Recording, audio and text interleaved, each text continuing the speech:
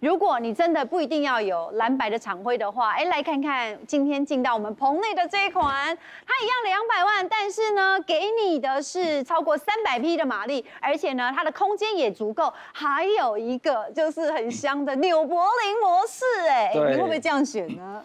其实，在这个如果你没有品牌迷失的话，我个人觉得你可以看看考虑一下，一样是进口品牌，对，但是呢，你可以抓到更精准的预算，是。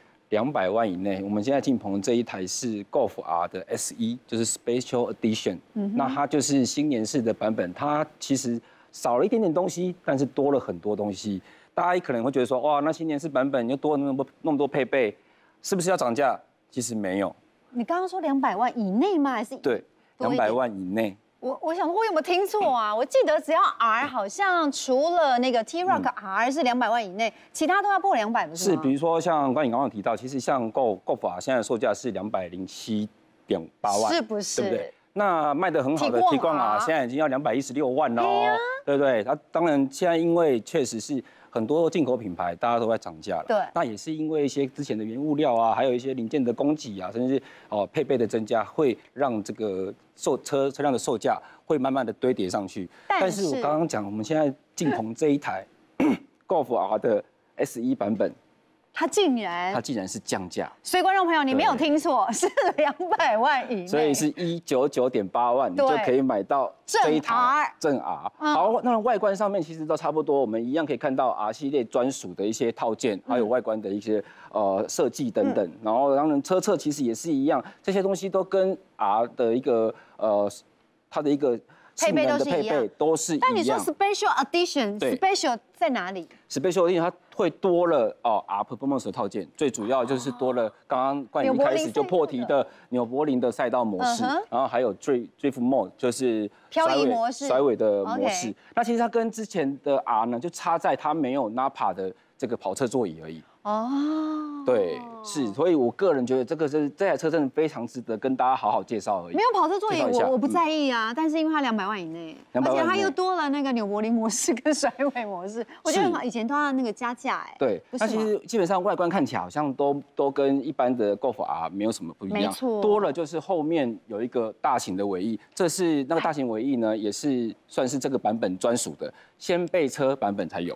真的哦，对，就就多了这个。所以你说 R 的 Very Young 就没有，对不对？是，哦，所以基本上外观看起来跟一般的 Golf R 没什么不一样，但是我觉得细节就是藏藏在里面。对对，好，那你打开车门让观众朋友来看看。好，它基本上它这台车呢，它就是在在内装方面呢，还是有很多。我刚刚已经讲讲过说，它现在这个座椅呢，窗前座一样都是跑车座椅，但是不一样的是它材质不一样，材质是用织布跟麂皮去混搭而成的，嗯对，所以它的一个当然你该有的一些包覆性啊，还有支撑性啊，我个人觉得是没有问题。那瑞克，我们就进到车内，带观众朋友来看一下，有哪一些在车内是有 special edition 的，好不好？好，好。冠宇那其实 Golf R 的 S E 的版本呢，而且当然就是多了这个 R 的 Performance Package 这个版本，嗯哼，啊，这个它的一个设计，那它它最主要就是多了这个。驾驶模式的切换。哦，你看驾驶模式切换是从这边对，就这边按，然后它一比一般就多了两个，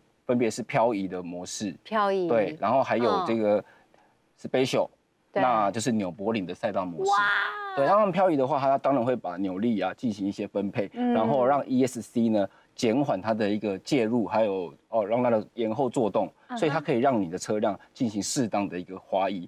漂移的动作，安全的漂移。对，然后我们看到它这个纽柏林赛道模式的时候，哎，你们觉得，哎，感觉好像应该是非常哈扣的，对不对？对啊，因为就是要我要做赛道成绩嘛。那其实它的一个悬吊呢，会比一般的，比如说赛道模式呢，再设定的软一些些。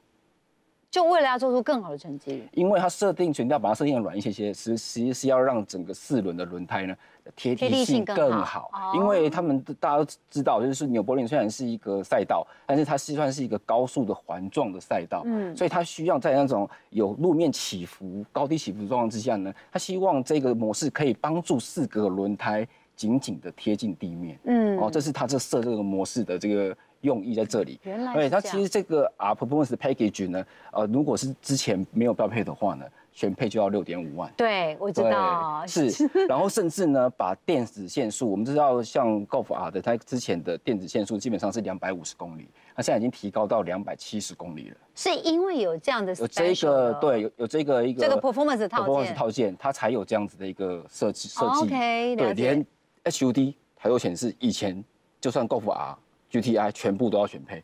现在也标配，就是不到两百万版本，所以我跟他说，哇，一般新年是你加了这么多配备，严格来讲，你应该是要涨价才对。对，没想到它还降价，嗯，对不对？还多了，哎，A 柱这边都看到了，Harman Kardon 的音响，这些全部都是在这个 Golf R 的 S 一版本特仕版，你都有了。哎，它音响设备还是给你这种知名品牌大厂的，对不对？对。只是说你刚刚有讲到说差异是在于说这个座椅的部分。我我觉得我个人来说，我觉得没差。观众朋友不知道那个想法，你自己也觉得吧？我我觉得光如果用这个座椅来换这些配备，又不到两百万，绝对是这个版本比较划算呢。是 CP 值超高，我觉得车厂就想办法把你的钱从口袋里面给它掏出来。虽然说需要等车，但是我个人觉得，以在这个目前这个世道底下，各个进口品牌，不管是豪华品牌的一般车款，甚至高阶的车款，都在涨价的情况之下呢，哎，我觉得 Volkswagen。做这一步，下这一步棋。推出这个产品，我觉得是非常聪明的选择。而且你两百万，你这样开出去，别人其实懂车的人啊，甚至于他的身份地位、外观的整个扮相啊，大家都知道你开的绝对不是一般正常的 Golf，对不对？对，绝对是就是性能的至尊，已经顶到天的这种至尊的这个性能车款啦。没错。但我们讲到两百万啊，你一样可以选择 Golf 啊，你也可以选择像 B N W 三系列啦，还有刚刚我们讲的什么二二系列的 Coupe 啦。如果你更聪明一点，或者是有些人想法不同的话。像德哥，他就非常热爱跑车。如果把这两百万拆成两个部分，等于你是可以买两台车。德哥，你会怎么样建议大家呢？其实呢，这个感觉就有有点像我们去素食店，你去点 A 套餐或者是 B 套套餐，就是看你选要假象啊。比如说，如果我都没有车，我只有两百多万，我 of course 我要点杯三一八。为什么？因为体面嘛，然后本来就是我喜欢，又有驾驭乐趣。可是现在又有一个 B 套餐，也蛮诱人的。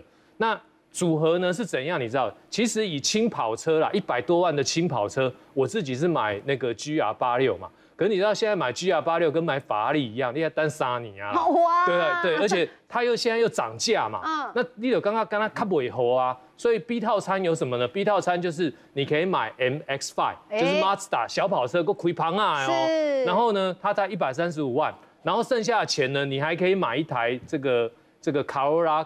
Cross 对，为什么？因为你要载家人嘛。对。你你你买 MX Five，基本上你只能载狗，对不对？你基本上就是你只能自己去兜风，对，或者是带女朋友，对，就是没有办法涵盖实用性。那这个 B 套餐呢？这两台加起来，你 Caracross 不要买高规的，你别背着蛮高诶，两个加起来两百一十五万。点五好像也不错啊，而且你又可以带给你那种幸福。你假日的时候开 MX Five，平常上班的时候开这个 Corolla Cross，对，所以这 B 套餐也是一个很不错的推荐。说到这两百万还真好用哎，因为接下来带大家来看一下新车这个讯息。如果你有两百万的话，你会不会买这一款呢？万众瞩目，大家说福特的这一款车呢？